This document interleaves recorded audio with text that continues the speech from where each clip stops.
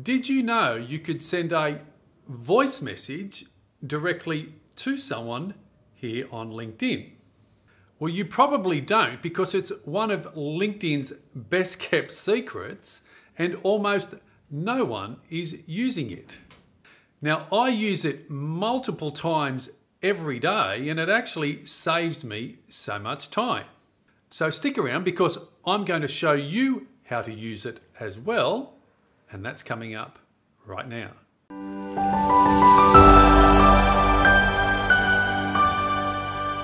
So here we are on my LinkedIn profile and I'm showing you this via mobile phone because the only way to send that direct voice message is via mobile phone. You can listen to the playback on your desktop as well, but you can only actually send the voice message here via mobile. So I'm going to go to the bottom left hand corner and click on my network. And then I'm going to go to the top right hand corner and click on those three dots and it's then going to bring up all of the direct messages that I have been sent. Now, nearly all of them, 99% of them, people have actually typed the message to me, just like this particular one here from Fretcher. Look how long this message is that he sent me. He sent me a couple. That would have taken him a long time to actually, you know, type out all of that. But I was able to see the blue um, line at, right at the bottom with the, with the play button. I was able to send him a very quick voicemail or voice message response saying what I wanted to say. Let's listen to to that quickly. Hi there, Fretcher. Thank you for the message and the connection here on LinkedIn. I don't require your services at the moment, but thanks for reaching out and saying hello anyway. Cheers. So there we go, nice and quick and easy for me to send that message to Fretcher.